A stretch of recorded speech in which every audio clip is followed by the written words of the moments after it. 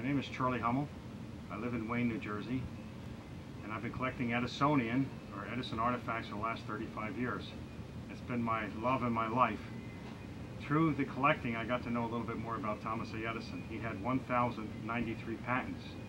Tonight we're going to set up, display, and record on one of Edison's earliest tinfoil phonographs from 1878.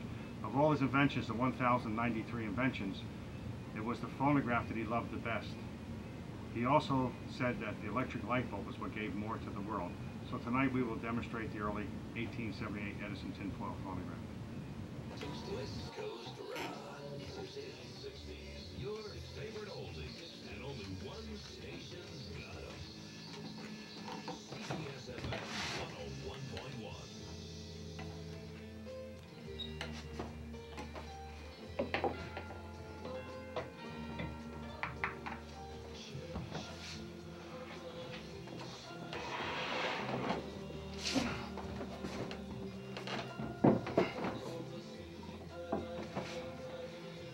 Is well made.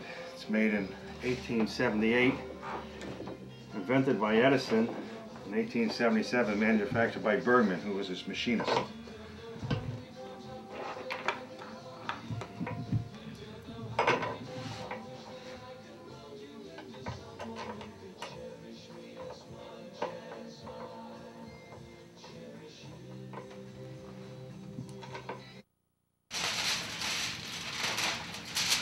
There's only two things different I did with this tinfoil than Edison's tinfoil. Is one is I'm using heavy duty Reynolds wrap to record the sound. The second is I changed the stylus. The original stylus was a steel stylus to a sapphire stylus.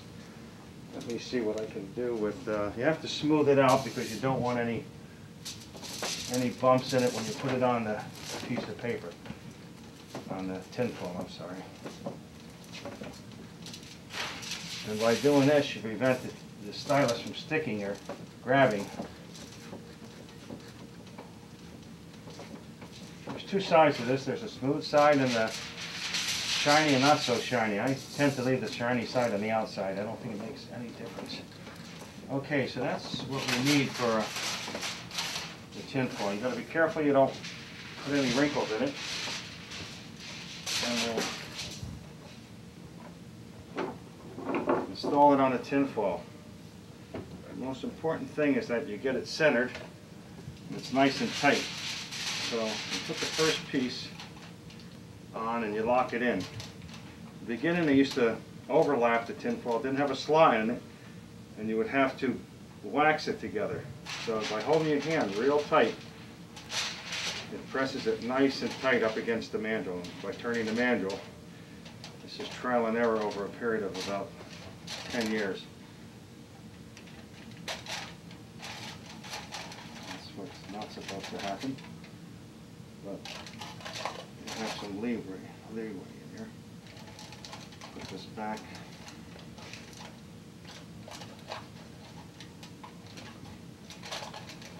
On the inside. Lift off the extra tin foil that's here. And make sure that this is pressed down. Then you curve the sides in, you get it nice and tight. That's the very secret of making a good recording. So there's no bumps, tears, or anything on the tinfoil itself when the stylus runs over it. I particularly like to put some oil on the tinfoil. I'm not sure if they did that in the beginning, but what that does in my mind is makes it nice and smooth and it doesn't dig in when the stylus goes over.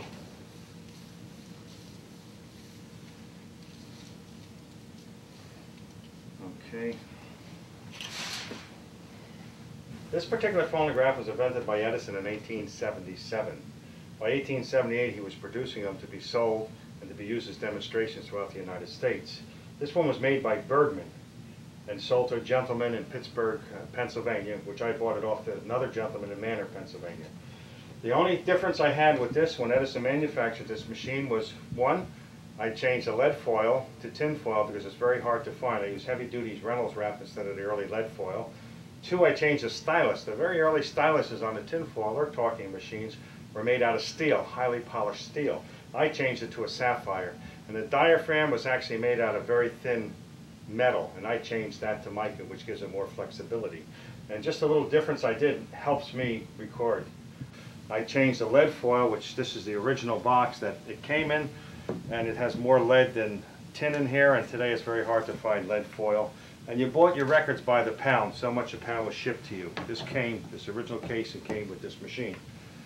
By changing the tin foil, I used this heavy duty Reynolds wrap, and also I changed the diaphragm. The first diaphragm were made out of steel. I used the mica, which is more flexible and gives me much more uh, control over what I'm doing. What I'm going to do now, I already placed a piece of tin foil around the mandrel, and I'm going to record the voice. You have to understand that this machine, back in 1877, the human voice has never been recorded and played back. This is the first machine, what Edison did, record the human voice and then play it back. I'm going to even say the words that Edison did on his first uh, talking machine.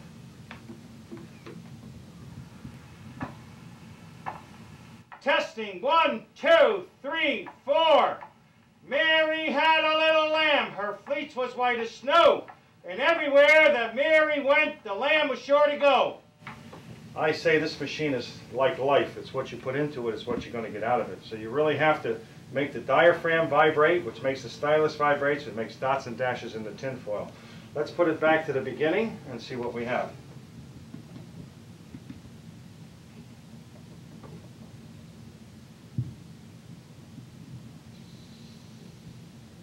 People were astonished that a machine can talk. People thought Mr. Edison was a ventriloquist or there was something, somebody else around the machine talking. As you played it back, this is what the people heard.